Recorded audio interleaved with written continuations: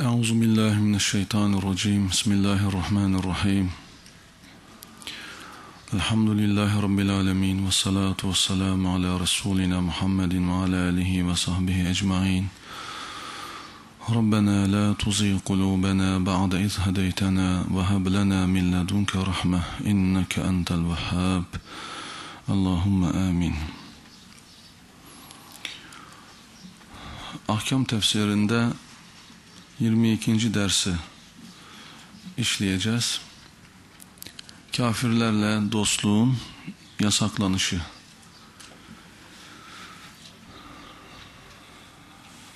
Özellikle bu zamanda Müslümanların kafirlerle dostluklarının arttığı,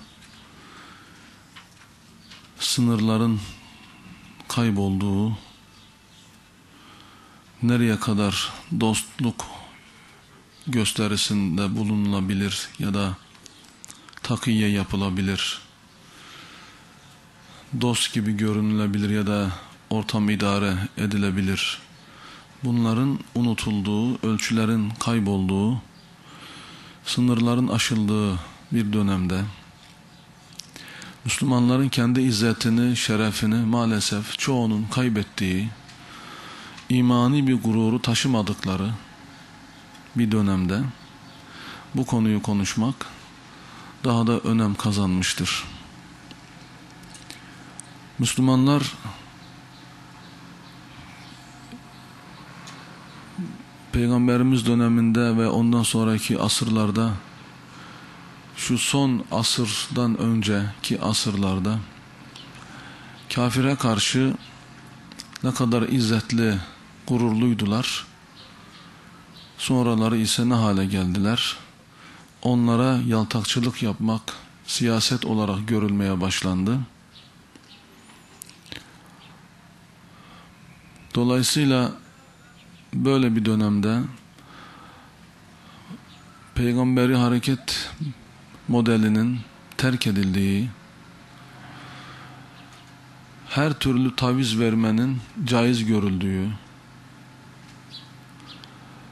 güya İslam'a hizmet için lastik gibi sünmenin caiz görüldüğü, aslında İslam'a hizmet de değil, kendi şahsi menfaatleri için her türlü tavizi vermeyi doğru görenlerin çoğaldığı bir dönemde, renksizleşmenin çoğaldığı, renklerin kaybolduğu, kendi rengini belli etmemenin marifet zannedildiği bir dönemde Müslümanlardan çok kafirlerle diyalog halinde olunulduğu bir dönemde bu konu daha da önem kazanmıştır. Ali İmran suresinin 28. ayetinde Allah Azze ve Celle la yettehizil mu'minûnel kafirîne evliyâ min dûnil mu'minîn Müminler müminleri bırakıp kafirleri dost edinmesinler. Ve men yef'al zalik kim bunu yaparsa yani kafirleri dost edinirse feleyse minallahi fi şey Allah ile arasında hiçbir şey kalmaz, dostluk kalmaz. Allah'dan bir hak bir hak üzere değildir. Yaptığı şey yani Allah ile dostluğunu bitirecek bir şeydir. Çünkü Allah'ı seven Allah'ın dostlarıyla dost olur, düşmanlarıyla düşman olur. Allah'ın düşmanları ile dost olanlar dolayısıyla Allah ile de dostluklarını kesip atmış olurlar. O yüzden ayetin devamında Allah Azze ve Celle buyurur ki Allah sizi kendiyle korkutur. Ve yuhazzirukumullahu nefse. Allah sizi kendinden sakındırır çünkü bilesiniz ki ve ilallahil masir sonuçta dönüş Allah'a olacaktır. Sadece Allah'a. O kafirlerle dost olanlar bilsinler ki sonunda Allah'a dönecekler. Allah'ın mahkemesinde Allah'ın kanunlarına göre hesap verecekler. Bu dünyanın kanunlarına göre değil, orada Allah'ın kanunları geçerli olacak. Ona göre hesap verecekler. O halde sadece Allah'tan korksunlar. Şimdi bu ayet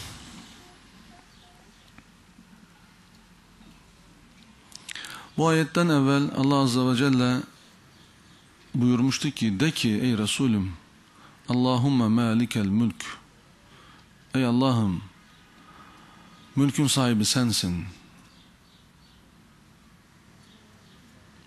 Mulke men teşâ ve tenzi'ul mulke mimmen teşâ İstediğine mülkü verirsin, istediğinden çekip alırsın. Ve tu'izzu men teşâ ve tuzillu men teşâ İstediğini yüceltirsin, aziz yaparsın, istediğini zelil edersin. Biyedikel hayır. Tüm hayır senin elindedir. Her şey sana bağlı. Böyle buyurmuş. İnneke ala kulli şeyin kadir. Sen her şeye kadirsin. Yani ele alacağımız ayetten önceki ayet Allah'ın kudretini anlatan her şeyde onun dediğinin olduğunu her şeyin sahibinin o olduğunu onun her şeye kadir olduğunu anlatan ayetten sonra geliyor bu. Ele aldığımız ayet. Yani demek istiyor ki madem ki Allah her şeye kadir olandır, her şey madem ki O'nundur, malikel mülk O'dur, istediğini yüceltir, istediğini alçaltır, madem ki O'nun böyle bir kudreti var, o halde siz neden kafirleri dost ediniyorsunuz? Ayetler arasında bağlantı var yani. Bazen sureler arasında bile bağlantı olur. Görülebilirse. Her zaman da görmek kolay olmayabilir. Ama ayetler arasında genellikle bağlantı vardır ve görülür. Bazen göremezsek hani bizim eksikliğimizden olabilir.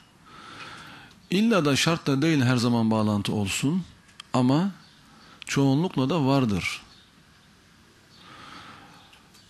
Yani surenin kendi içindeki uyumu önemlidir.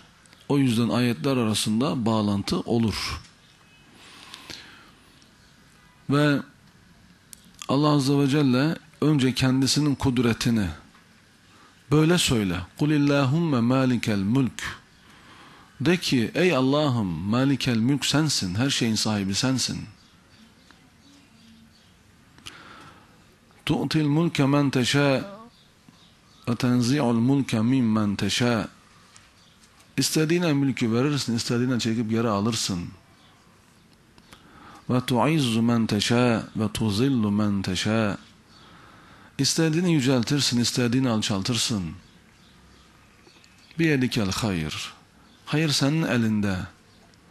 Kimsenin elinde değil. Bir tek sensin her şeye kadir olan. İnneke ala kulli şeyin kadir. Ve tuhrecul e, hayye minel meyyit ve tuhrecul meyyite minel hay.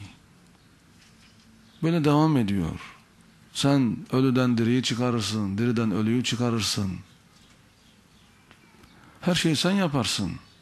Böyle bir kudret. Bunu önce belirttikten sonra Allah Azze ve Celle kendisinin kudretini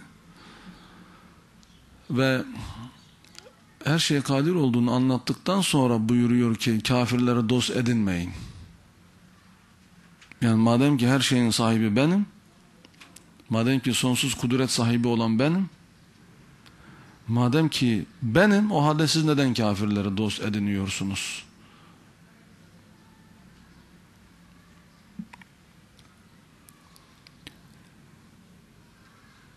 Demek ki kafir dost edinenler Allah'ın kudretinden şüphe içerisindedirler. Eğer Allah'ın kudretinden şüphe içinde olmasaydı kafiri dost edinmezdi. Çünkü Allah Azze ve Celle konumuz olan ayette müminler müminleri bırakıp kafirleri dost edinmesinler dedikten sonra ayetin sonunda ve ilallahil masir buyuruyor. Tüm e, işlerin sonu Allah'a dönecek. Dönüş onadır. Buyuruyor. Demek ki madem ki dönüş onadır, o halde sadece onu hesaba katın, başkalarını hesaba katmayın. Kafirlerin size verebileceği zarar, diyelim ki bu dünya içindir. Ama Allah size öyle bir zarar verir ki, ebedi cehennemine atar. Kafirlerden korkmayın. O yüzden ayetin devamında ne buyuruyordu? Allah sizi kendiyle sakındırır. Kendinden, yani Allah'tan korkmanızı ister. Siz insanlarla, insanlarla e, güzel geçinmeye ve tavizler vermeye çalışıyorsunuz. İnsanlardan korkuyorsunuz. Halbuki Allah sizi kendisinden korkutur. Korkutulmaya, korkulmaya layık olan Allah'tır. Hz. İbrahim gibi. İbrahim Aleyhisselam mı tehdit etmişlerdi. Dedi ki siz Allah'tan korkmuyorsunuz da ben sizden mi korkacağım? Peygamberi bir tavır yani bu. Siz Allah'tan korkmuyorsunuz da ben sizden mi korkacağım? Yani siz Allah'tan bile korkmuyorsunuz. Ben nasıl sizden korkarım? Bunlar Müslümanların e, nerede nasıl bir tavır koyması gerektiğini anlatan ayetlerdir. Ve insanlar ekseriyetle neden kafirlerle dost gibi görünürler veya dost olurlar daha doğrusu. Dinlerinden tavizler verirler. Neden? Çünkü ekseriyetle bunu menfaatleri için yaparlar. Mal mülk için, rahat yaşamak için, zengin olmak için, bu gibi bir takım şeyler için. O yüzden Allah Azze ve Celle buyuruyor ki mülkün sahibi Allah. Onlar değil. Siz menfaat için bunu yapıyorsunuz. Tavrınızı ortaya koymuyorsunuz. Şahsiyetli davranmıyorsunuz. Menfaatlerinizi hesaba katıyorsunuz. Bilesiniz ki mülkün sahibi Allah'tır. Kafirler değil. O zenginler değil. Bazen Allah mülkü onlara verebilir, bazen Müslümanlara verebilir. Ama mülkün sahibi Allah'tır. İmtihan olsun diye ve bizim kendi hatalarımızdan dolayı, kendi günahlarımızdan dolayı Allah bizden alıp onlara vermiş olabilir, cezalandırabilir bizi. Gidelim onlara dost olalım diye değil. hatamızı anlayalım diye, tembellikten kurtulalım diye, çalışmaya başlayalım diye, uyanalım diye, gafletten kurtulalım diye ama bunlar yapacaklarına yanlış sonuçlar çıkarırlar ve gidip kafirlerle dost olmaları gerektiğini düşünürler. Halbuki Allah kafirlere güç kuvvet verdi, bizim hatalarımızdan dolayı Bunu zaten Kur'an-ı Kerim açıklamıştı. Bi eydikum ile tehluke. Kendinizi kendi ellerinizle tehlikeye atmayınız. Yani dünyaya dalmak suretiyle Ebu Eyyub el Ensari ayetin manasının bu olduğunu açıklar. Yani dünyaya dalmak suretiyle, dünya peres olmak suretiyle kendinizi tehlikeye atmayın. Çünkü o zaman kendinizi tehlikeye atmış olacaksınız. Dünyanız da elinizden gidecek, ahiretiniz de gidecek.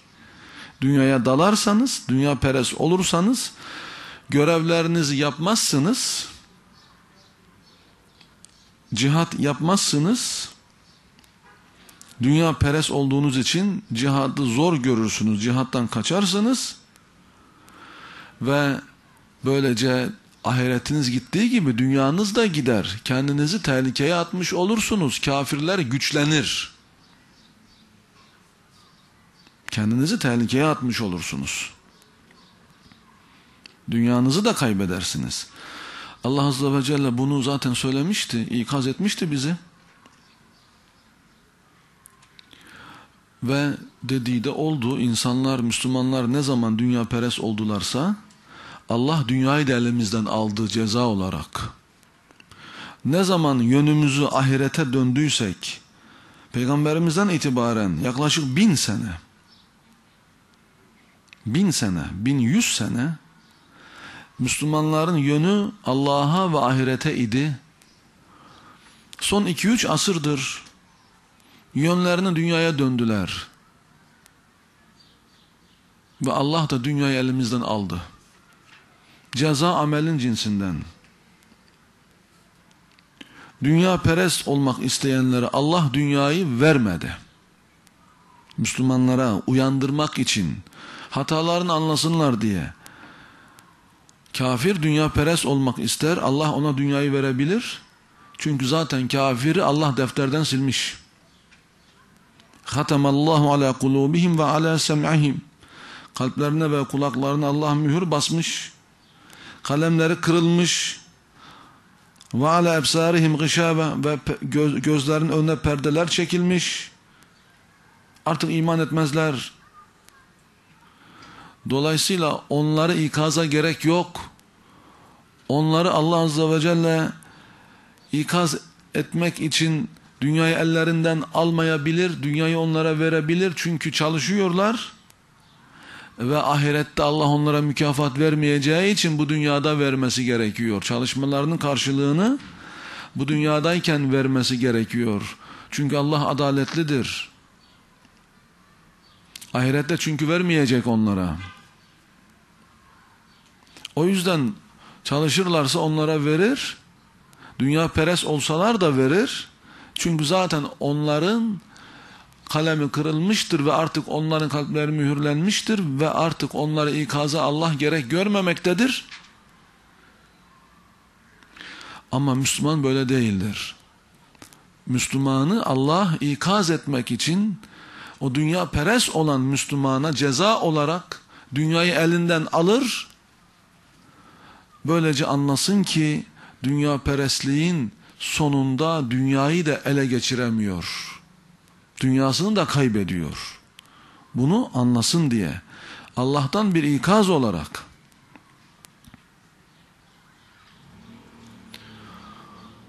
Bu açıklamayı yapmamın sebebi hani bazı insanlar neden Müslümanlara Allah böyle muamele ediyor da o zaman kafirlere niye öyle muamele etmiyor? Onlara niye veriyor? Onlar da dünya peres. Yani dünya peres olanlardan Allah dünyayı alıyorsa ellerinden o zaman kafirlerden niye almıyor? Çünkü kafir ikaza gerek kalmamış. İnnellezine keferu sevâun aleyhim e enzertehum em lem tunzirhum la yu'minun. O kafirler ister uyar ister uyarma eşittir. İnanmazlar. Uyarsan da uyarmasan da fark etmez. Çünkü onların kalpleri mühürlenmiştir. Dolayısıyla Müslümana ikaz gerekir. Böyle kalbi mühürlenmiş olan kafirlere iman etmeyeceğini Allah'ın bildiği o kafirlere ise kalpler mühürlenmek suretiyle ceza verilir ve onlara yaptıklarının karşılığı bu dünyada ödenir.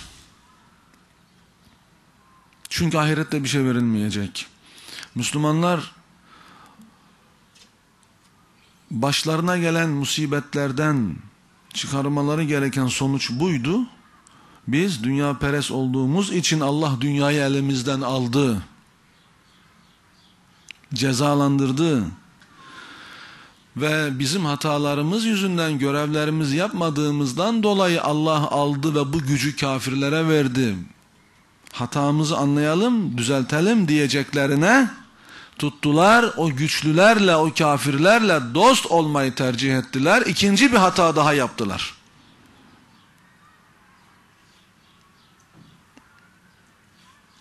Anlamaları gereken o muydu?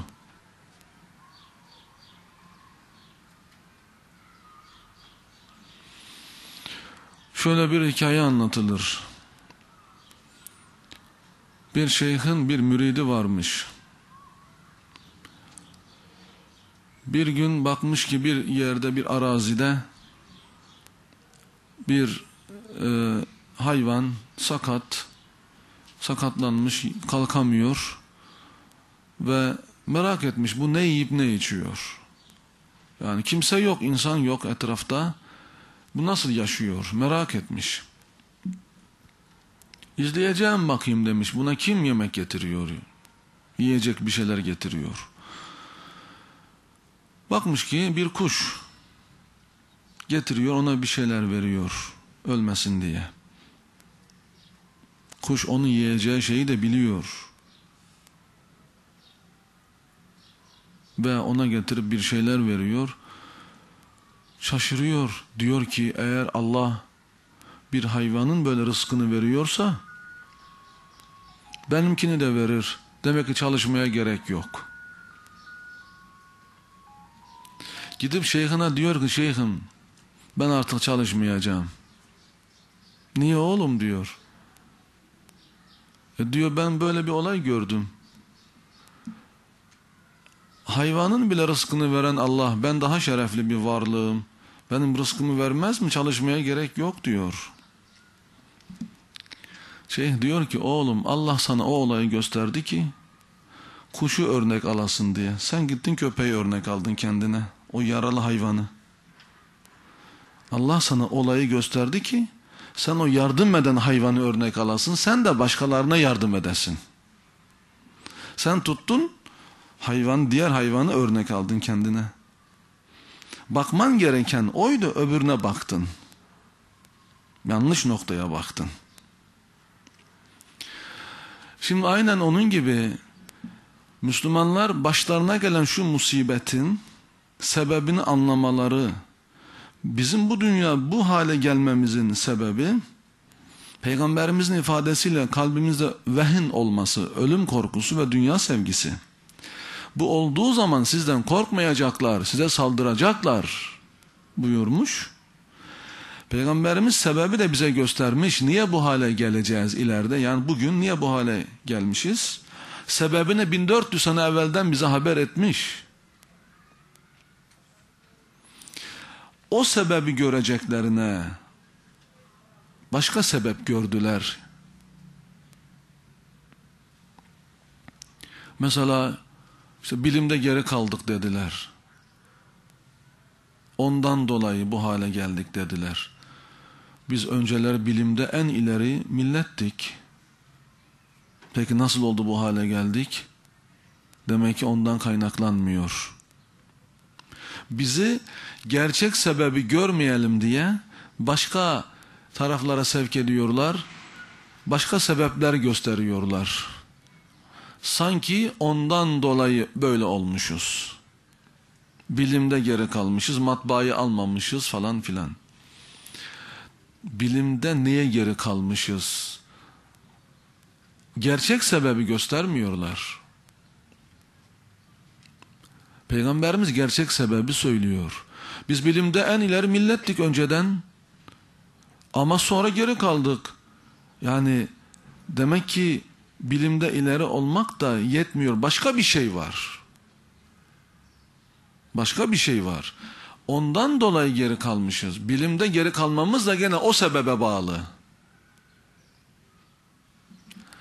İşte Efendimiz onu bize açıklıyor. Başka sebep aramayın diyor. Yani ileride böyle olacaksınız. Dünyada kıymetiniz kalmayacak. Zayıf duruma düşeceksiniz. Size saldıracaklar, sizden çekinmeyecekler. Başka sebep aramayasınız. Sebep bu. Ölüm korkusu ve dünya sevgisi kalbinizde olunca sizden çekinmeyecekler. Başka sebep aramayın. Sizi başka sebeplerle kandıracaklar. İnanmayın.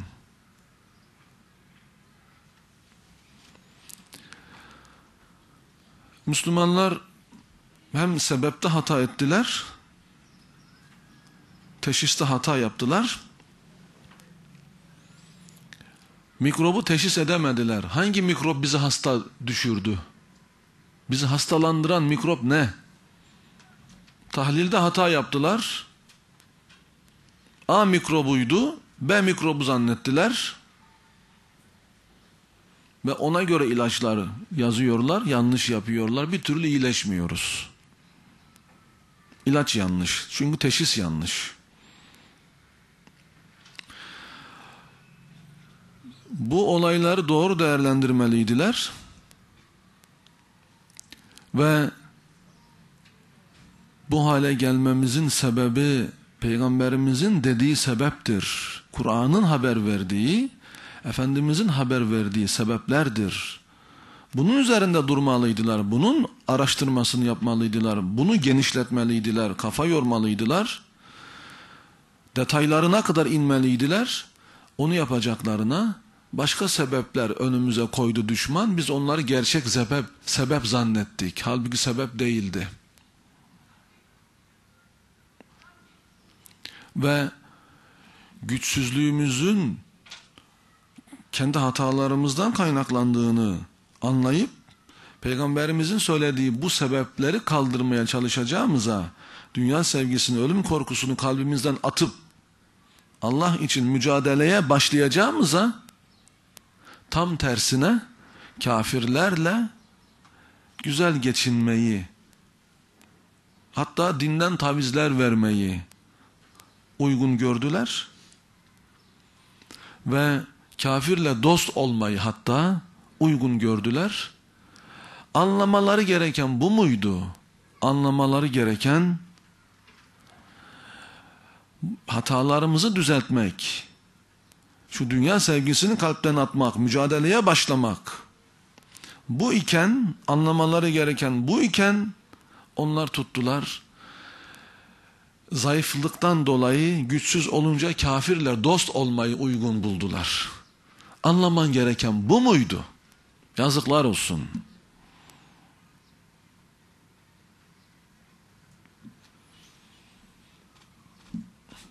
Ortada bir olay var. Müslümanların zayıf olması, kafirlerin güçlü olması.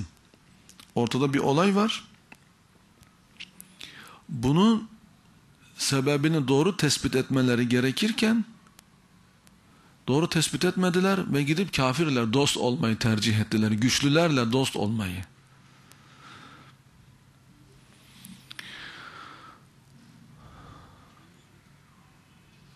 Kur'an-ı Kerim ne buyuruyor?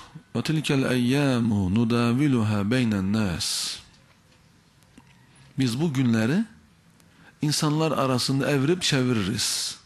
Bir kafirlere veririz, bir Müslümanlara veririz gücü kuvveti. İnsanlar arasında evirip çeviririz. Neden? وَلِيَعْلَمَ اللّٰهُ الَّذ۪ينَ آمَنُوا وَيَتَّخِذَ مِنْكُمْ شُهَدَى Sebep bu. İçinizden samimi iman edenleri ortaya çıkartmak ve sizden şehitler edinmek için. Şahitler ve şehitler edinmek için. Sebep bu. Yani kendi hatalarımız yüzünden Allah bazen alır gücü kuvveti kafire verir ve bu arada kim samimi Müslüman, kim değil ortaya çıksın diye. Çünkü gücü görünce, gücün kafirde olduğunu görünce çokları kafirle dost olacaktır. Ve böylece de samimi olmadığı da ortaya çıkacaktır. İşte Allah bunu bilmek istemektedir. Bunu ortaya çıkartmak istemektedir.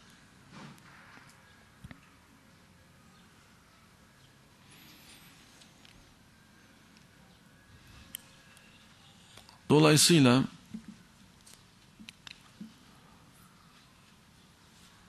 kafirle dost olanlar neden dost oluyorlar? Güç ve kuvvet onlarda olduğu için. Zayıf olsaydılar onlar da dost olurlar mıydı? Niye olsunlar? İşte bu imtihan.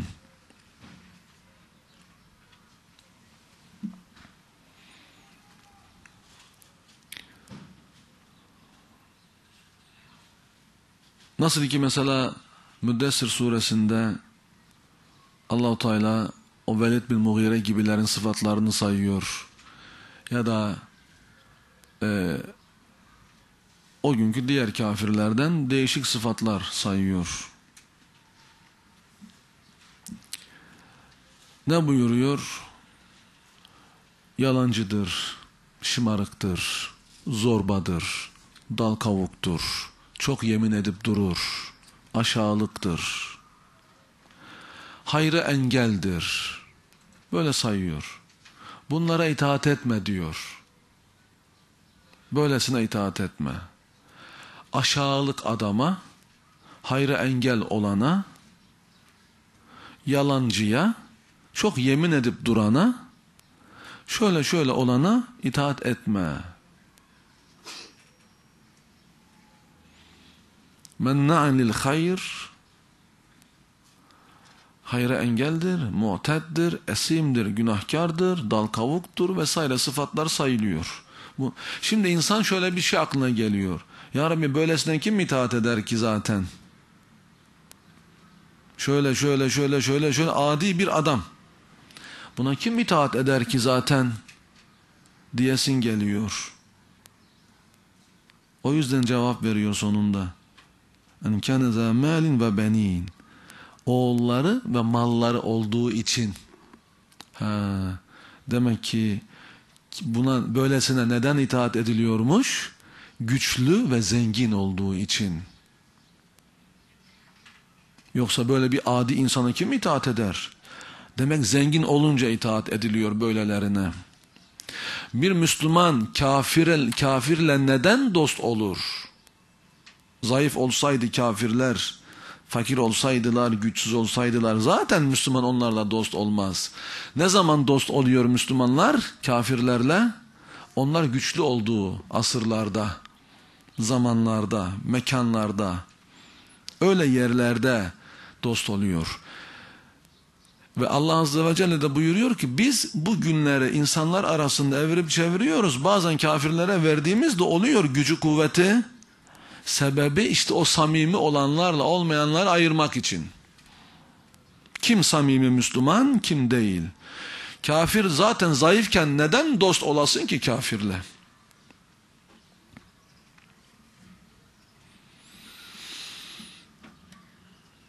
Bu ayetin sebeb nüzulü olarak bir rivayette e, sahabeden bazılarının Yahudilerden dostları varmış. Ta İslam'dan evvel onun için Allah Azze ve Celle onları bundan men etmiş. Müminler müminleri bırakıp kafirleri dost edinmesin. Bırakın artık eskisi gibi davranmayın. İslam'dan evvel belki onlarla dost olabilirsiniz. Artık İslam geldi, siz Müslüman oldunuz, onlar olmadı. Aranızda artık dostluk bitti. İslam'a göre dostluk, din, inanç esasına dayalı olmalı menfaate dayalı olmamalı.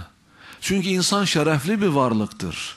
Şerefli varlık mal için, mülk için biriyle dost olmaz. Şerefini kaybeder eğer olursa.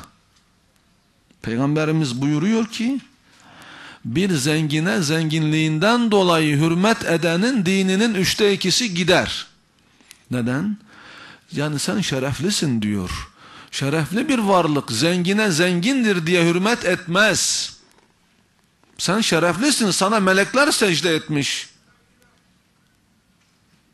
Bu dünyada Allah seni imtihan olsun diye fakir yaratmış olabilir. Ama sen gene şereflisin. Gene sana melekler secde etmiş yani fark etmez zengin olsan fakir olsan. Sen gene şereflisin yani şerefini unutmamalısın.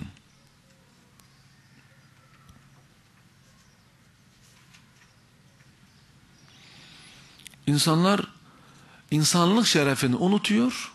Gücü, kuvveti, malı, mülkü, zengini gördüğü zaman insanlık şerefini unutuveriyor. Gururunu kaybediyor, izzetini kaybediyor. Halbuki insanı Allah üstün yaratmıştır. Maldan, mülkten, mad maddeden üstündür. İnsanın maneviyatı maddeden daha önemlidir. İnsanın derecesi maddeden daha önemlidir.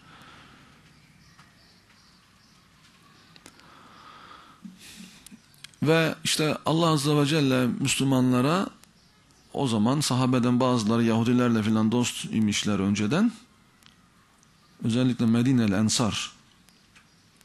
Allahu Teala bunu men ediyor. Hayır diyor. Bundan sonra yok. Çünkü siz üstünsünüz. Hakkı savunuyorsunuz. Onlar hakkın düşmanı. Onlar benim düşmanım. Sen nasıl benim düşmanım dost edinirsin? O zaman benim de dostum değilsin. Benim dostum olsaydın benim düşmanımı düşman edinirdin.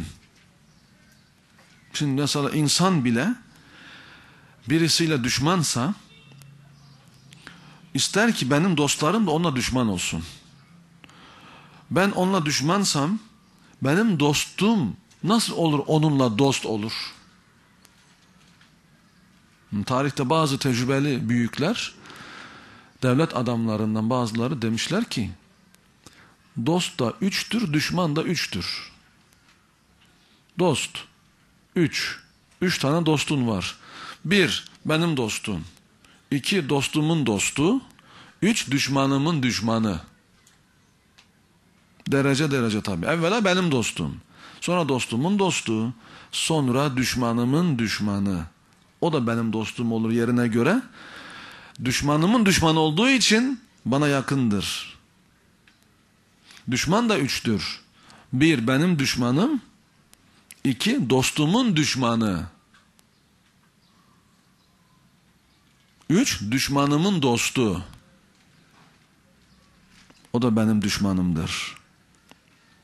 Yani düşman sadece senin düşmanın değil. Düşmanının dostu da senin düşmanın. Dostunun düşmanı da yine senin düşmanın. Allah Azze ve Celle bize bunu anlatmak istiyor. Benim düşmanımı dost edinmeyin. Ben onu düşman edinmişim. Sen o kafiri dost ediniyorsun. Bu nasıl iman? Bırakın Allah'ı bir insan olarak biz bile bir düşmanımızı bir arkadaşımız dost edindiği zaman kalbimiz kırılır. Halbuki onu biz yaratmamışız. Rızkını veren de biz değiliz. Buna rağmen benim düşmanım sen nasıl dost ediniyorsun? Deriz. Allah Azze ve Celle neden demesin? O da diyor ki benim düşmanımı dost edinmeyeceksin. Beni seviyorsan hem Allah'ı seviyorum diyeceksin hem de Allah'ın düşmanlarını dost edineceksin. Bu yalan bir sevgidir. Bu iddiadır sadece. Yalan bir iddiadır. Gerçekten yalandır bu. Allah'ı gerçekten sevsen Allah'ın düşmanını dost edinemezsin. Sevgi bunu engeller.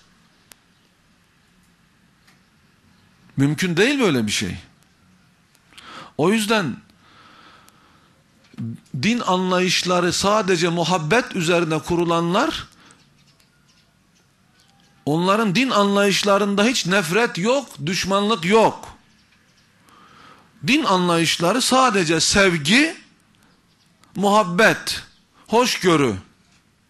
Böyle olanlar bilsinler ki bu iman değil. İman hem Allah için sevmektir hem Allah için nefret etmektir. Nefret etmiyorsan iman iman değil. Sevmen gerekeni sevmiyorsan da iman iman değil. Peygamberimiz ne buyuruyor? Birbirinizi sevmedikçe iman etmiş olamazsınız. Neden? Çünkü o Müslümanı Allah seviyor. Sen onu sevmiyorsun. Allah'ın sevdiğini sevmiyorsan bu iman değil. Allah'ın nefret ettiğini seviyorsan bu da iman değil. Allah'tan daha fazla hoşgörülü veya muhabbetli olamazsın. Allah onu sevmiyorsa sen de sevemezsin.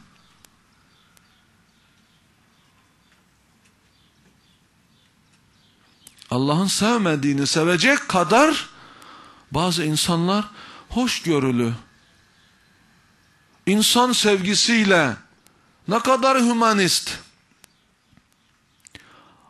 Onu Allah yaratmış ve Allah ondan nefret ediyor. Allah kafirleri sevmez buyuruyor. İnna la yuhibbul kafirin. Allah kafirleri sevmez diyor. Onu yaratan Allah'tır. O sevmiyor. Sen nasıl seversin? Allah'tan daha mı merhametlisin? Allah'tan daha fazla mı kalbin geniş? Kafiri bile kalbini alabilecek kadar geniş bir kalp sana fazla. Böyle bir kalbe hakkın yok. Ve bu kalp Allah'ın istediği kalp değil. Mevlana gel ne olursan ol gel demiş ama evet gelsin anla otursun dinlesin. Doğru söylemiş. Ne olursan ol gel gel dinle sonra sen bilirsin. Yani ne olursan ol gel demek kafiri sevmek demek değil. Gel dinle.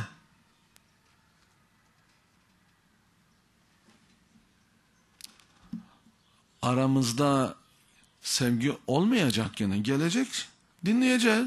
O bizi dinleyecek. Biz de onu dinleyeceğiz. Anlatmamız gerekeni anlatacağız. Sonra kendi bilir. İster mecusi, ister putperest olsun. Gelsin. İster komünist, ister faşist. Gelsin biz de öyle deriz ya ne olursan ol gel dinle. Bunu yanlış anlamak istiyorlar. Bu ne olursan ol geli herkesi kucaklamak, kafirler dost olmak şeklinde anlamak istiyorlar. Buna hakkınız yok. Kur'an var elimizde. Kur'an-ı Kerim kafirleri dost edinmeyin diyor. Ya eyyühellezine amenu Maide suresinde Ya eyyühellezine amenu La tettehizul yehuda ve nasara evliya Yahudi ve Hristiyanları dost edinmeyin. Ba'duhum evliya o ba'd. Onların kimisi kiminin dostudur. Sizin dostunuz değil. Birbirlerinin dostlarıdırlar. وَمَنْ يَتَوَلَّهُمْ مِنْكُمْ فَاِنَّهُمْ مِنْهُمْ Kim onları dost edinirse sizin içinizden o da onlardandır. Bundan daha ağır bir ifade olabilir mi? Sizden kim onları dost edinirse o da onlardandır. Daha bundan ağır bir ifade olur mu?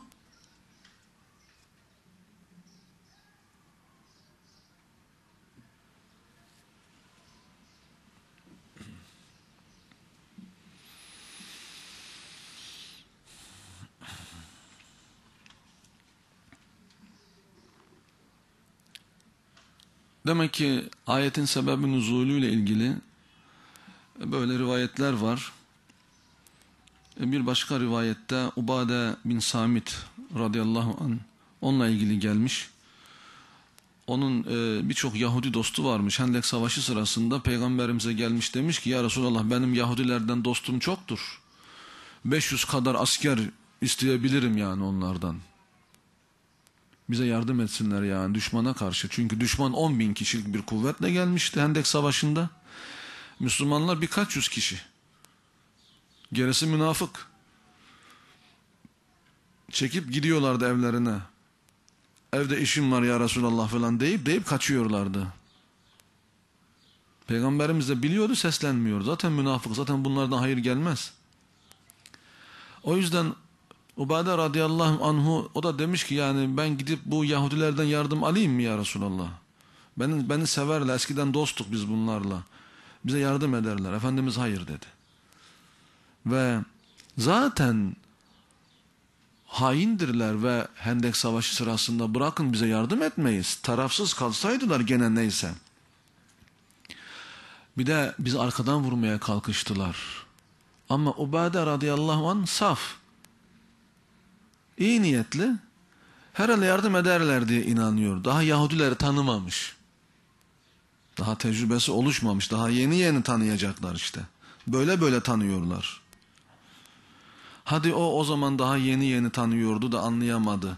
Bugünkü Müslümanlara ne oluyor? Hala Yahudi, Hristiyanı dost ediniyorlar.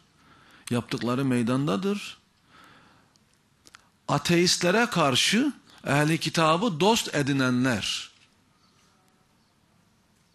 Hiç olmazsa bunların Allah'ı var, peygamberi biliyorlar, kitap biliyorlar, ahiret biliyorlar diyenler. Onlara ben diyorum ki, evet öyleydiler ama çok nadir birkaç tanesi ancak Müslüman oldu. Öbür o putperestler, müşrikler, Mekke'nin müşrikleri, Medine'nin müşrikleri, kitap bilmez, peygamber bilmez, ahiret bilmez. Onlar iman ettiler. Hem de kabile kabile toptan iman ettiler sonunda. Bunlar iman etmediler. Bu ehli kitap iman etmedi. Ve o gün bugündür de başımızın belasıdırlar. İslam'ın önünde en büyük engel de bunlar oldular. Tarihte putperest seferleri, müşrik seferleri duydunuz mu? Hayır. Haçlı seferlerini duydunuz mu? Duydunuz. Hatta şu anda da görüyorsunuz. Irak'a yapılan saldırıda da bu kelime kullanıldı. Başkan Bush Haçlı seferlerini başlatıyoruz dedi.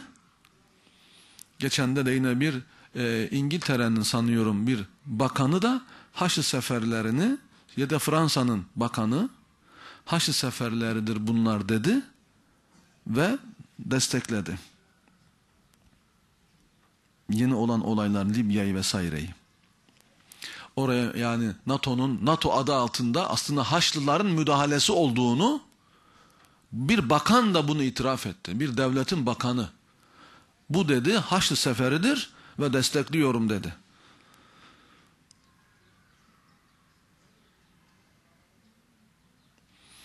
Yani ateist seferleri yok. Tarihte ciddi manada bir şey yok. Hiçbir zaman ateistler zaten bir güç olmamışlardır. Çünkü ateizm bir saçmalıktır. Her şey kendi kendine olmuş demek saçmalamaktır. Saçmalamaktır. Yani şu bardak kendi kendine olmuyor da bu kainat mı kendi kendine oldu? Yani bu güzelim çiçek mi kendi kendine oldu? Yani bu sinekler, bu balıklar, bu insanlar, bu bu kadar mahlukat. O yüzden bu kadar saçmalayan insan her zaman azdır. Her insanın vicdanı der ki bunun mutlaka bir yapan var. O yüzden ateizm her zaman zayıftır, cılızdır. O yüzden de İslam'ın karşısında ciddi bir engel olmamışlardır. Olamamışlardır. Kimler ciddi engel olmuştur? Ehli kitap, Yahudi ve Hristiyanlar. Hani bunlar bize daha yakındı. Hani peygamber biliyorlar, kitap biliyorlar, ahiret biliyorlar da hani bunlar ehli kitaptı. Ama bunlar iman etmiyorlar. Bunlar bir türlü iman etmiyorlar. Ve Kur'an-ı Kerim buyuruyor ki وَلَا تَكُونَ اَوَّلَ kafirin bi. Ey ehli kitap, ey Yahudiler, Hristiyanlar, kafirlerin ilki siz olmayın. Çünkü onlardı. Kafirlerin ilki siz olmayın. Ehli kitapsınız. Yapmayın. Ama öyle oldu. Bugün de İslam'ın karşısında en büyük tehdit onlardır. Şu anda İslam alemine saldıranlar ateistler midir, ehli kitap mıdır? Ehli kitaptır. Şu anda saldıranlar kimlerdir? Afganistan'a, Irak'a, Hristiyan dünyası yani Amerika, Filistin'de de Yahudiler. Ehli kitap yani ateistlerden çok ehli kitap İslam düşmanlığı yapmaktadır. Ve bunu gör, görmelerine rağmen Müslümanlar hala ateistleri daha tehlikeli, daha kötü görüp bunları iyi görmeye temayül gösteriyorlar. Allah'tan korksunlar. Bunların yaptıkları meydanda her pisliğin altında Amerika çıkıyor. Ya bunu görmezden gelemezsiniz. Orta Doğu'ya saldıran Amerika tarih boyunca kaç defa hepsi birleşip birleşip yedi devlet bize saldırdılar. Haçlı seferleri. Bir devlet iki devlet değil yedi devlet birleşip Papa'nın emriyle Haçlı seferleri denilenler bunlar. Hepsi beraber saldırdılar.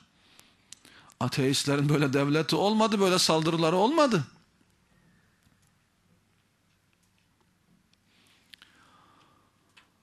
Ateist de kafir, o da kafir ama hani yakın tehlike açısından meseleyi anlatıyorum. Ateist yani iyi olduğundan değil tabii ki. Yakın tehlike, yakın tehlike ehli kitaptan geliyor. Ve güç onlarda, ateistlerde değil. Ve bizi öldürenler onlar, ateistler değil. Ateist öldürmez mi? O da öldürür fırsatını bulsa. O da kafir sonuçta. Ama şu anda yakın tehlike ehli kitap. Maalesef.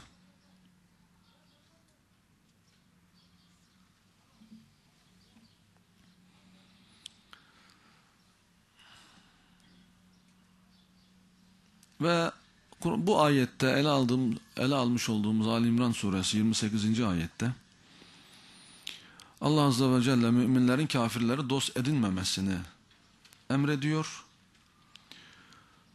Ancak onlardan bir zarar gelmemesi için ortamı idare etmenin caiz olduğunu takiye deniyor buna. Bunu açıklayacağız.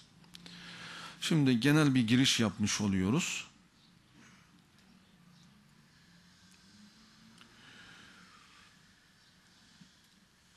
Yani her kim ki kafirler dost edinirse feleyse ve men yef'al zalik yani kim bunu yaparsa yani kafirleri dost edinirse Allah azze ve celle kim bunu yaparsa ifadesini kullanıyor. Kim kafirleri dost edinirse demek istememiş. Kasıt odur. Yani kim kafirleri dost edinirse kafirlerin o kelimeyi bir daha kullanmak onlara o şerefi bir daha vermek istememiş. Kim bunu yaparsa yani o kafirleri dost edinirse Allah'tan hiçbir şey yoktur. Yani Allah ile arasında bir irtibat yoktur. Bu yapılan şey Allah'ın razı olduğu bir şey değildir. Allah'ın zerre kadar buna razı olması mümkün değildir. Feleyse minallahi fi şey. Bununla ilgili çok ayetler var Kur'an-ı Kerim'de kafirleri dost edinmemekle ilgili çok ayet var. Onlara itaat etmemekle ilgili. Mesela Ali İmran suresinde yine Ya eyyühellezine amenu in tuti'u feriqan minellezine utul kitab yeruddukum ba'de imanukum kafirin Ey müminler o ehli kitaba itaat ederseniz, ehli kitaptan bir taifeye itaat ederseniz, sizi imanınızdan sonra döndürüp tekrar kafir yaparlar. Planları odur. Sizi aldatıyorlar. Planlar yapıyorlar ve sizin dininizi bozmak istiyorlar. Tuzaklar hazırlıyorlar. Sizinle hoşgörü falan filan adı altında görüşüyorlar. Diyalog yapalım diyorlar. Niyetleri başkadır. İtaat etmeyin. inanmayın. Allah bizi ikaz ediyor. Sizi tekrar kafir yaparlar diyor.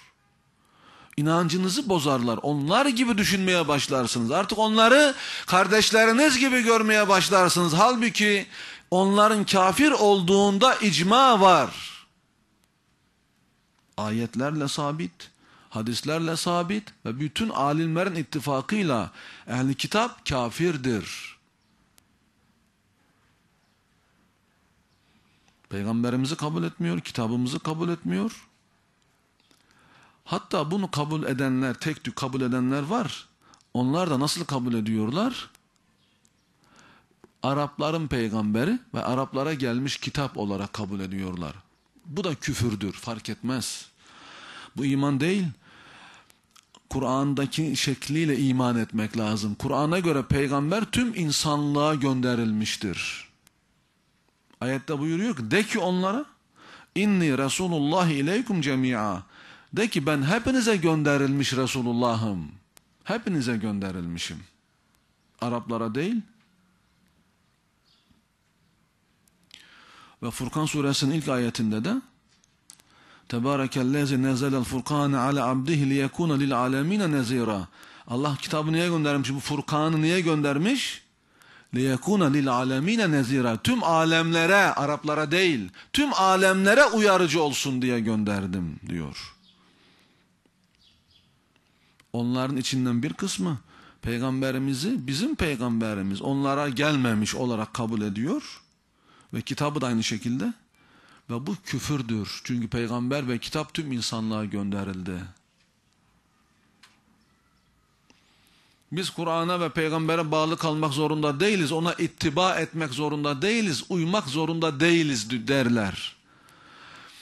Emrolunduğumuz şey peygamberi peygamber olarak görmek değil. Peygambere uymayı kabul etmek.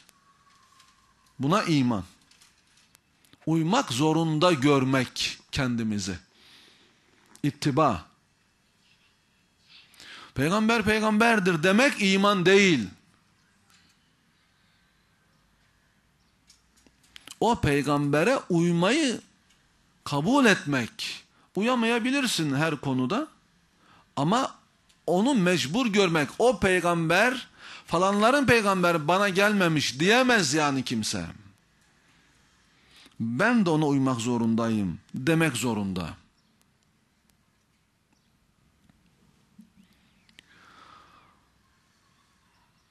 Kur'an-ı Kerim bizi bu hususta onlarca ayette ikaz eder. Kafirleri dost edinmeyin.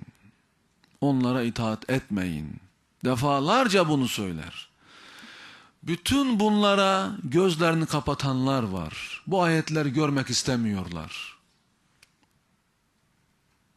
Bir insan Bakara suresini açsa okusa, Bakara suresi ekseriyeti Yahudilerle ilgilidir. Ali İmran suresinin de ekseriyeti Hristiyanlarla ilgilidir. İnsan Bakara'yı Ali İmran okusa, mesela bakın diyelim ki, işte Bakara'da birkaç sayfa sonra başlıyor Yahudilerin kıssaları, Yahudilerle ilgili ayetler. Ali İmran'da da yaklaşık 25 ayet filan sonra, 100 ayet kadar onlarla ilgili, Hristiyanlarla ilgilidir. Okuyun, Ali İmran'dan başlayın mesela ve Bakara'dan Hristiyanlarla ve Yahudilerle ilgili ayetler. Daha da var Maide suresinde vesaire. Yani sadece Bakara'daki o kısımları, Ali İmran'daki o kısımları okusun bir Müslüman. Ondan sonra bu ehli kitapla dost olabilir mi daha? Okuyun. Ali İmran 25'ten 125'e kadar yaklaşık. Okuyun. Bakara'dan birkaç sayfa sonra başlıyor İsrailoğullarının kıssası. Okuyun. Ehli kitapla ilgili bu ayetlere bakın. Ondan sonra düşünün. Bunlarla diyalog caiz olabilir mi? Bunların niyetleri nedir? Görün. Ve şunu da şunu da temas etmeden geçemeyeceğim. Ee, kafirlerle dost olmak isteyenler daha kötü bir şey daha yaptılar. Şöyle bir mantık geliştirdiler. Kur'an'ı tarihselci mantıkla anlayalım dediler. Yani şunu kastediyorlar. Yahudilerle ilgili ayetler o günkü Yahudilerle ilgili.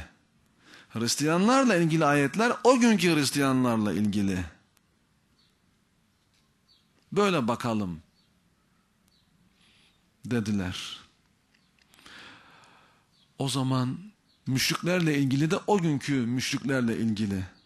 Münafıklarla ilgili ayetler de o günkü münafıklarla ilgili. Hatta Müslümanlarla ilgili ayetler de o günkü Müslümanlarla ilgili. O zaman bu Kur'an'ı atalım haşa gerek kalmamış artık. Böyle anlayacaksak. Ya da işte e, o günkü Yahudileri, Hristiyanları dikkate alarak bu ayetleri anlayalım. Peki ben de soruyorum. O günkü Yahudi ile bugünkü arasında fark mı var ki? O günkü Hristiyanla bugünkü arasında bir fark mı görüyorsun ki? Tevrat mı değişti? İncil mi değişti? Yahudi mi değişti? Hristiyan mı değişti? Tarihe bakmıyor musun? Peygamberimiz döneminde ne iseler, peygamberimizden sonra da aynısı. Haçlı seferler asırlar boyu devam etti. Osmanlı'ya varana kadar Osmanlı'da da aynısıydılar. Halen de aynısı değiller mi? Halen de saldırmıyorlar mı? Hristiyanlar da Yahudiler de. Halen de saldırıyorlar. Halen de bir şey değişmedi. Tevrat da değişmedi. İncil de değişmedi. Yahudi de değişmedi. Hristiyan da değişmedi.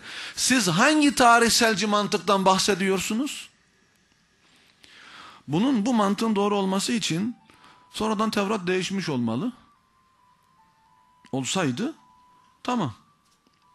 Yani Peygamberimizden sonra Tevrat'ı değiştirmiş olsalardı hani yanlışları temizlemiş olsalardı neyse hadi diyelim ki bunlar biraz daha iyi derdik.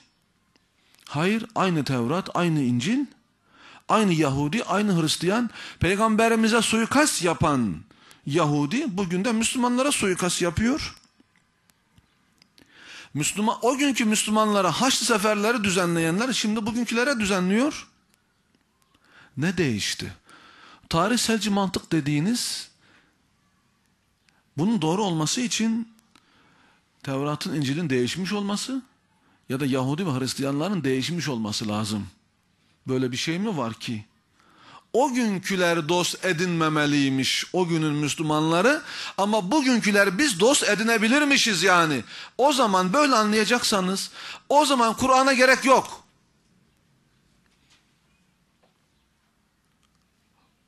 O zaman bu ayet o günküler içindir. Şu ayet o günküler içindir. Münafıklarla ilgili ayetler o günkü münafıklarla ilgili. Yahudilerle ilgili olanlar o günkü Yahudilerle ilgili. O zaman her şeyi böyle düşünelim. O zaman Kur'an'ın epeyce bir kısmını atmak lazım haşa. Kafirler dost ediniyorlar. Ondan sonra onun fetvasını arıyorlar. Müslüman dediğin Kur'an'ı okur, Kur'an'a göre kendine bir yol çizer. Yol çizmişler bunlar. Ondan sonra Kur'an'a bakıp ona göre bir fetva arıyorlar. Müslüman dediğin önce yolunu Kur'an'a göre çizer. Öyle devam eder. Bunlar öyle yapmıyor. Yolunu Kur'an'a göre çizmiyor. Önce yol çiziyor kafasından. Kendince bir strateji takip ettiğini düşünüyor. Halbuki bu gibi stratejiler Allah'ın stratejisine terstir ve sonu yoktur. Bunun sonu hüsrandır.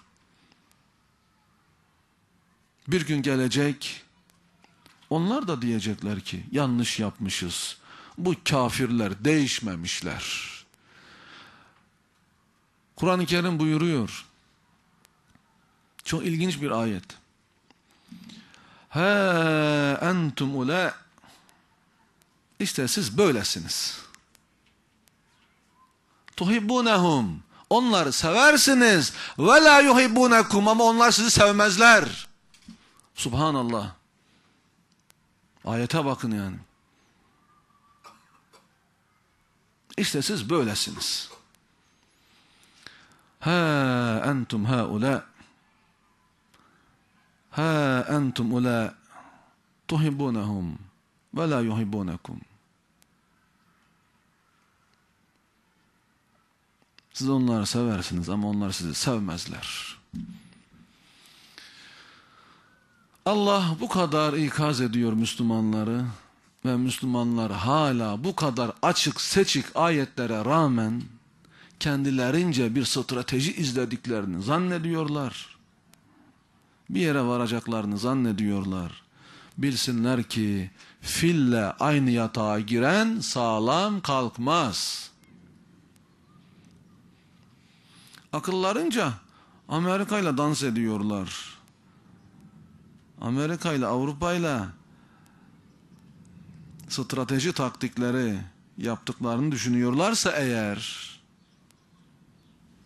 strateji takip ettiklerini düşünüyorlarsa bilsinler ki fille aynı yatağa girenler sağlam çıkmazlar. Sana düşen Allah'ın siyasetini izlemek. Allah neden böyle bir siyaset göstermedi sana? Sen neden kendiliğinden böyle bir şey uyduruyorsun? Allah'tan çok Allahcı mısın? Allah Azza ve Celle böyle bir şey sana yol göstermiyor. Neden sen böyle bir yol izlemek istiyorsun? İslam'a hizmet etmek için mi? İslam'a hizmete nasıl olacağını Allah daha iyi bilir ve böyle bir yolda göstermiyor.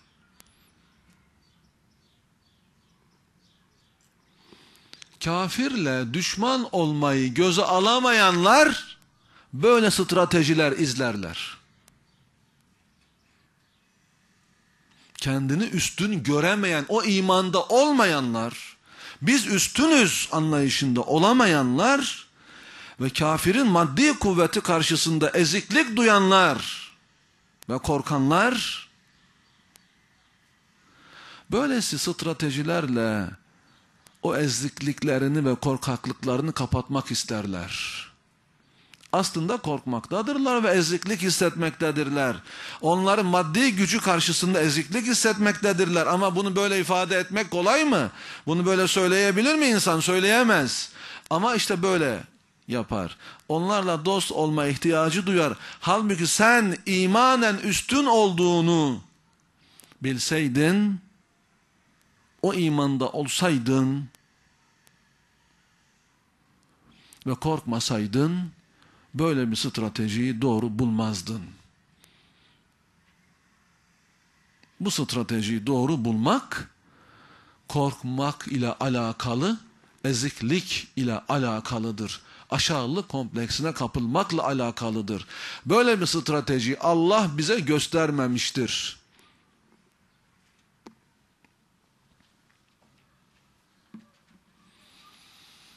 Kur'an-ı Kerim mesela Mümtehine suresinin birinci ayetinde ey iman edenler benim de düşmanım sizin de düşmanınız olanları dost edinmeyin.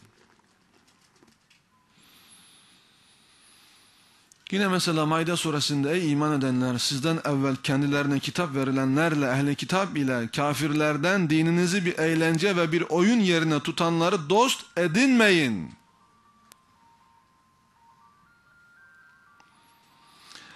Yine Ali İmran suresinde ey iman edenler kendi kardeşlerinizden başkasını dost edinmeyin. Dost ve sırdaş edinmeyin. Mücadele suresinde Allah'a ve ahirete imanda sebat eden hiçbir kavmin Allah'a ve Resulüne muhalefet eden insanlarla Velev ki onlar bunların babaları, oğulları, biraderleri veya soy sopları olsun onlarla dost olduklarını göremezsin. Babası da olsa kafirle dost olduğunu göremezsin buyuruyor. Allah müminleri böyle tarif ediyor. Müminlerin sıfatı. Babası da olsa kafirler dost göremezsin Müslümanı. Çünkü Müslümanın gözünde inanç önemlidir. İnanç kardeşliği önemlidir. Dünyanın bir ucundaki Müslüman kardeşidir, Müslümanın. Ama kendi kardeşi, ana babası bir olan kardeşi eğer din aynı değilse kardeşi sayılmamaktadır. Bu ne demek? İslam inanca önem veriyor. Çünkü insan şerefli bir varlıktır. Çamura bağlı değildir, kana bağlı değildir. Kanın önemli değildir, ırkın önemli değildir, anan baban önemli değildir, çamurun, vatanın önemli değildir. Önemli olan inancı, onu dost edinmen buna bağlıdır. Çin'deki bir Müslüman senin kardeşindir. Senin öz annen babandan olan eğer senin dininden değilse senin kardeşin değildir. Bu insanın yüceltilmesidir. Yüce insan böyle bakar, inanca bakar. Neye baktığını söyle, sana dereceni söyleyeyim. Neye bakıyorsun? Mala mülke mi? Neye bakıyorsun? Irka mı? Neye bakıyorsun? Küçük kafalar neye bakar? Orta kafalar neye bakar? Büyük kafalar neye bakar?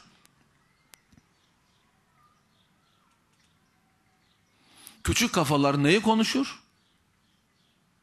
İnsanları. Orta kafalar neyi konuşur? Olayları. Büyük kafalar neyi konuşur? Fikirleri.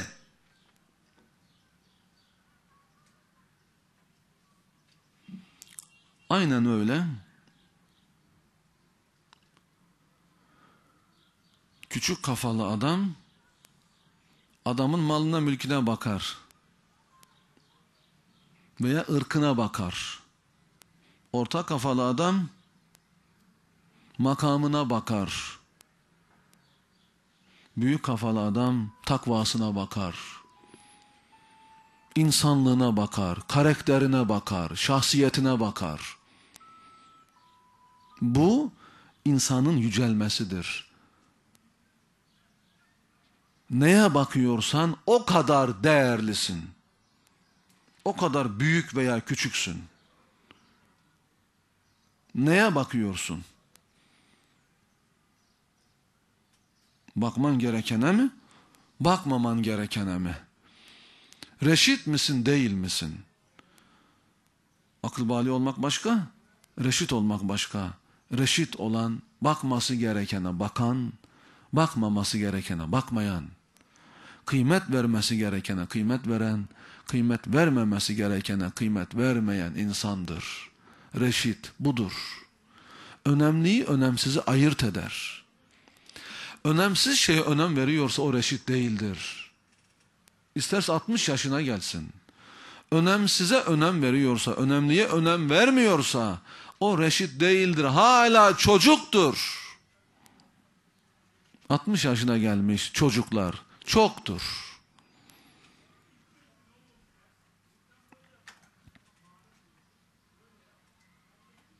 On beş yaşındaki büyüyebilir, reşit olabilir icabında. 18 yaşında, 20 yaşında reşit olabilir. 60 yaşında olamayabilir. Hala neye önem vermesi gerektiğini anlamıyor.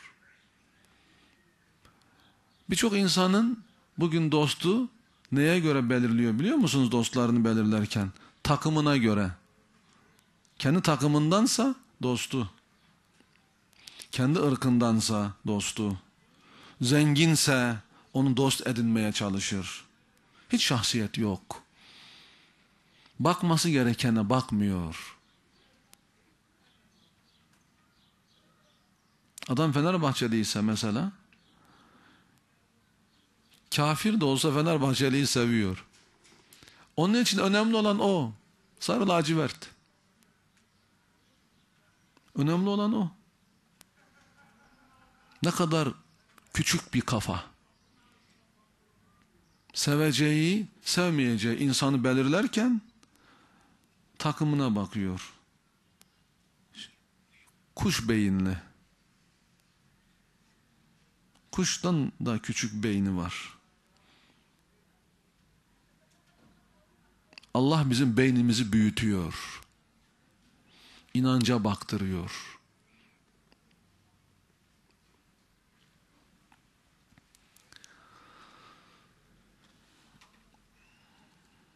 Bu ayetlerde ne gibi şer'i hükümler var?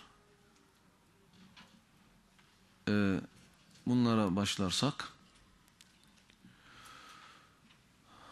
Kafirlerden yardım istemek caiz mi? Savaşta kafirlerden yardım isteyebilir miyiz? İmam Malik'e göre bu caiz değil. Bu ayete göre e, caiz değil. Aynı zamanda da biraz evvel sebep nuzul olarak söylediğimiz Ubade'min Samit hadisi orada da Ubade'nin o teklifini peygamberimiz kabul etmemişti. Yani Yahudilerden yardım alabilirim istersen ya Resulallah. Halbuki onlar yardım etmez, hıyanet eder. Onu düşünemiyordu o sırada, tecrübesizdi. Peygamberimiz biliyor. Hayır dedi. Ve İmam Malik buna dayanıyor. Hem ayete hem hadise dayanarak diyor kafirlerden yardım alırsak onları dost edinmiş oluruz. Caiz değil diyor. Ve Hazreti Ayşe'den gelen bir rivayette bir müşrik çok güçlü kuvvetli bir adam. Bedir Savaşı'na doğru Müslümanlar giderken Peygamberimize gelmiş demiş ki adam Müslüman değil. Demiş ki size katılayım mı? Yardım edeyim mi? Efendimiz buyurmuş ki sen Müslüman oldun mu? Yok demiş adam. Peygamberimiz buyurmuş ki len nesta'ine bi müşrik. Müşrik ile asla yardım almayız. Müşrikten istiane etmeyiz, yardım almayız. Adam gitmiş. Birazdan gene gelmiş. Demiş ki size yardım edeyim mi? Savaşa katılayım mı sizin safınızda? Halbuki Müslümanların çok ihtiyacı var. Müslümanlar Bedir'de kaç kişiydi? 313 veya 314. Kafirler 1000 kişiydi. Çok ihtiyacımız vardı. O anda geldi adam. Yardım edeyim mi dedi. İkinci kere sordu. Efendimiz aynı soruyu tekrar etti. Dedi ki sen Müslüman oldun mu? Yok dedi adam. Efendimiz aynı cevabı verdi. Len nesta'ine bir müşrik. Müşrikten yardım almayız. Asla. Len edatı Arapçada tekitli bir ifadedir. Asla demek yani. Adam gene gitti. Birazdan gene geldi. Dedi ki size yardım edeyim mi? Size katılayım mı? Üçüncü kez. Efendimiz aynı soruyu sordu. Adam bu defa evet dedi. İslam oldum dedi. O zaman katılabilirsin dedi Peygamberimiz. Peygamberimiz yani müşrikten yardım almayı kabul etmedi. Neden? Çünkü ben zaten senin gibilerle savaşıyorum. Senin ne farkın var ki onlardan? Demek istedi. Ve buna dayanıyor İmam Malik. Dolayısıyla bugün mesela Müslümanların eylemlerinde eylemlerinde kafirlerle birlikte eylem yapmaları da bir bakıma beraber savaş vermeleri gibidir. Bugün bir mitingde, bir eylemde Müslümanların kafirlerle birlikte eylem yapmaları kabul edilemez. Eylem insanlık namına olmamalı, Allah namına olmalı. Irak'a saldırı başladığı zaman 2003 senesinde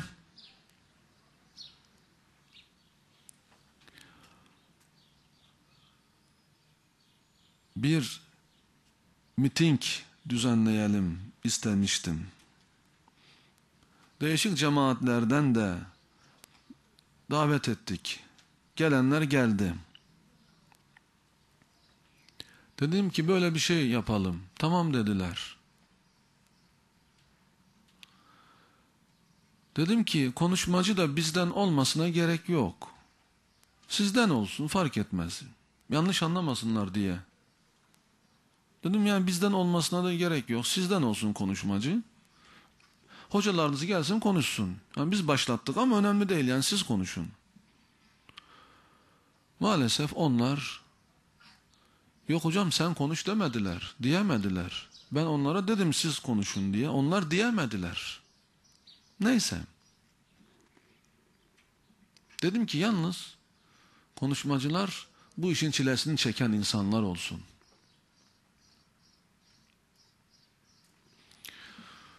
Bir dahaki toplantıda ben yoktum. Demişler ki işte gazeteciler olsun. Hatta futbolcu, Adana'da bir futbolcu varmış Hasan Şaş. Meşhur bir futbolcuymuş. O da olsun. Kekoli mi varmış, Memoli mi bilmiyorum. Bir şarkıcı mı, türkücü mü, bir artist mi mesleğini bilmiyorum. O da olsun. Bir de Şener Allah'a tapmaz varmış. Yurda taparmış. O da olsun. Bana böyle haber geldi. Ha bir de Abdurrahman Dilipak. Dedim ki bakın.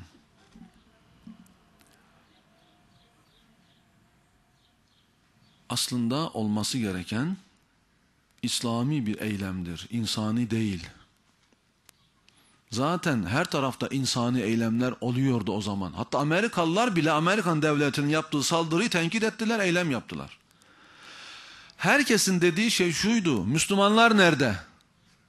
Almanya'da bile eylem oluyordu. Türkiye'de İslam namına eylem yok. İslam namına. Baktım İslam namına eylemi göze alamıyorlar. İnsanlık namına. Futbolcu, şarkıcı, türkücü, dinsiz, imansız hepsi olsun. Maksat tehlikeli olmasın, İslam namına olmasın, insanlık namına olmuş olsun.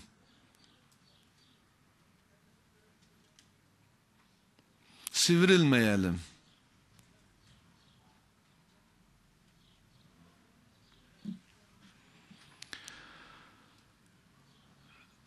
Dedim ki İslam İslam namına olmalı ve de artık mitinglerde, eylemlerde hocalar İslam'ı, İslami hizmetlerin çilesini çeken hocalar çıkmalı.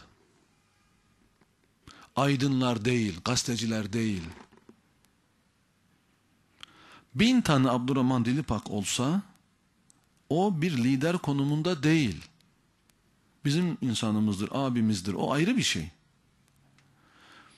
Ama olması gereken bu değil. Onlar da olabilir yanında ama esas İslami hizmetleri yapan hocaların önde olması gerekir. Halk hocaların izinden gider, gazetecilerin değil.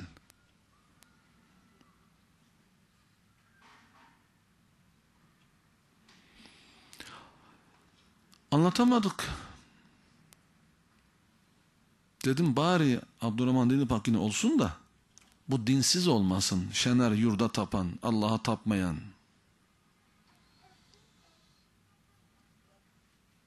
İlla o da olsun diye tutturdular. Maksat ulusal televizyonlara çıkarmış. Öyle olunca ulusal televizyonlara çıkarmış. Herkes daha büyük bir eylem olurmuş ve herkes katılırmış. Dinli dinsiz hepsi katılırmış. Bana bunu anlattılar. Toplantıda olan arkadaşlar. Dedim ki iki maksatlar da gerçekleşmeyecek. Ulusal televizyonlara da çıkmayacak ve kalabalık da olmayacak. Öyle de oldu. Abdurrahman Dilipak mikrofon eline almış, kızmış. Nerede bu millet, niye kimse yok demiş. Çok az bir insan, 500 kişi falan toplanmış. 5-600 kişi. Anlatılana göre. Nerede bu millet demiş. O Şener Allah'a tapmazdı, eline almış mikrofonu. Demiş ki ben sizin Allah'ınıza, peygamberinize, dininize, imanınıza inanmıyorum. İlk lafı bu. Ama ben buraya insanlık namına geldim. Şimdi bizim bu laflar duymaya ihtiyacımız mı vardı? O olmasaydı olmaz mıydı?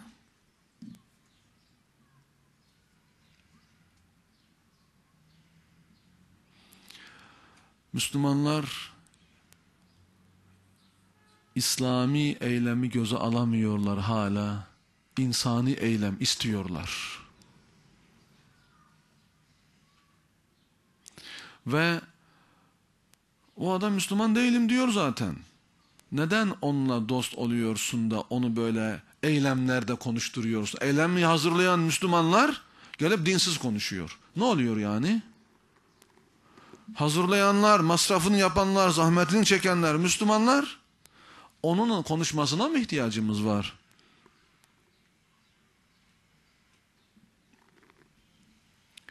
Siyaset de bilmiyorlar. Hadi diyelim ki o dinsiz mesela güzel konuştu.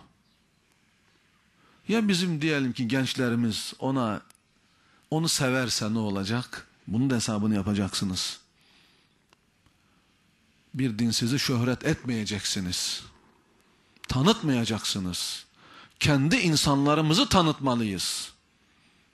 Bırakın böyle bir dinsizi. Ben konferanslarımızda ta yıllar önce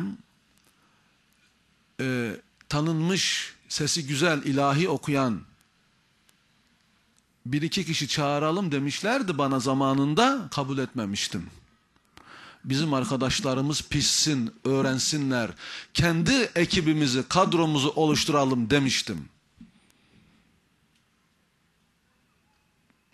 İyi ettim, kendi kadromuz oluştu. İslami hizmetlerle alakası bile olmayan, sesinin güzelliğinden başka hiçbir özelliği olmayan, çoğu namaz bile kılmayan o ilahicileri mi çağıracağım? Hem de parayla. Bir de onlara para vereceğim. ha? Bana verilen kuruşları, vakfa verilen kuruşları yani onlara mı vereceğim? Artistlere sesinden başka hiçbir özelliği olmayan ihlassız adamlara mı vereceğim? Niye bizim arkadaşlarımıza ne olmuş? Neden kendi yağımızla kavrulmayalım? Neden mitingi sen hazırlıyorsun? Niye kafiri konuşturuyorsun?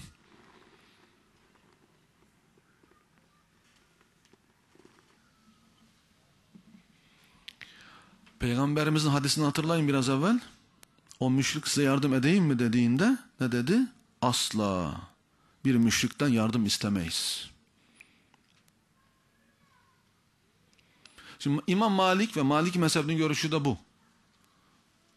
Yani kesinlikle caiz değil diyor. Diğer mezheplere gelince Hanefi, Şafii, Hanbeli'ye gelince onlar da diyor ki caiz ama iki şartı var. Öyle her türlü caiz değil. Bir, onların yardımına ihtiyacımız varsa gerçekten, hakikaten zor bir durumdaysak, ihtiyaç, şiddetli bir ihtiyaç varsa, iki, onlara güveniyorsak,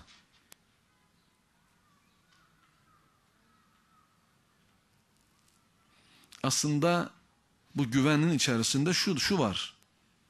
Yani bize hıyanet etmeyecekleri ve aynı zamanda itaat edecekleri. Buna güveniyorsak. Yani ya itaat etmezse savaş esnasında mesela orduyu bozarsa ne olacak?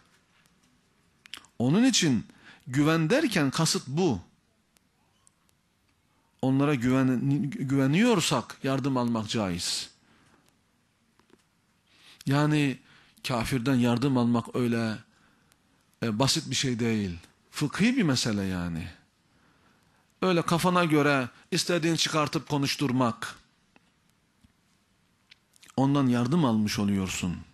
Ne gereği var? Bizde konuşmacı mı yok ya? Ona mı ihtiyacımız var?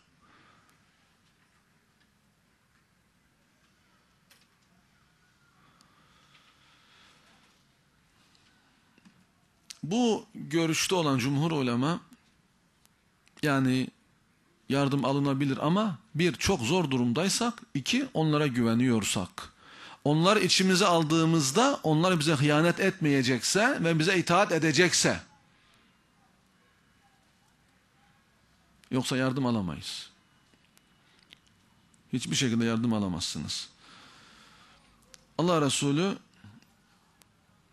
bir ara e, Kaynuka Yahudilerinden bir savaşta yardım almış ve onlara da ganimetten pay vermiş sonra.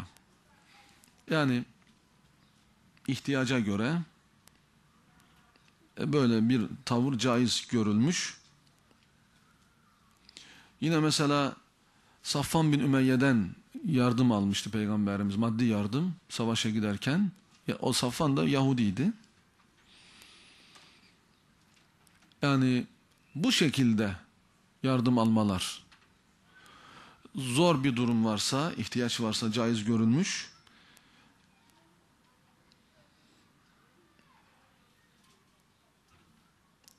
Ve Malikilerin dayanmış olduğu delilleri de tevil etmişlerdir alimler, cumhur ulema. Demişlerdir ki ya Malikilerin dayandığı bu delil Ubade bin Samit hadisi yani o Yahudilerden yardım almak istedi peygamberimiz izin vermedi. Bu yani peygamberimiz o sırada yardım e, ma ihtiyaç görmediği içindir. Demek ki yani şiddetli bir durum olmadıkça yardım alınmaz demişlerdir. Halbuki Hendek Savaşı'nda ciddi bir durum vardı ortada. Karşı tarafta 10 bin kişi, bu tarafta Müslümanlar birkaç yüz kişi. Çok ciddi bir tehlikeli bir durum vardı ortada. Arada bir hendek vardı sadece. Hendeğe geçiverseler karşı tarafa çok kötü durum olabilirdi yani.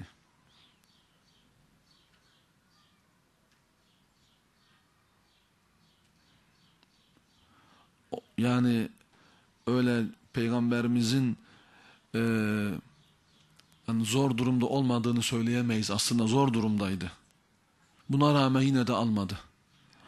Orada peygamberimizin ihtiyacı yoktu değil de e, o iki şart hani söylemiştik. İkincisinden dolayı aslında peygamberimiz onlardan yardım almadı. Yani onlara güvenmedi. Ubade bin Samit tecrübesiz onları bir şey zannediyor. Yardım ederler zannediyor. Halbuki peygamberimiz biliyor bunlar hainlik eder. Demek ki iki şart doğru yani. Bir, Müslümanlar gerçekten yardıma ihtiyacı olmalı. Bakın Hendek Savaşı'nda hakikaten yardıma ihtiyacımız vardı. Buna rağmen almadı çünkü ikinci şart gerçekleşmedi. Yani güven yoktu. Demek ki güvenmiyorsak onlardan yardım isteyemeyiz. Bu ayetten çıkan ikinci hüküm de takiye ile ilgili. Biraz ara verip ondan sonra takiye konusuna geçeceğiz. Elhamdülillahi Rabbil Alemin.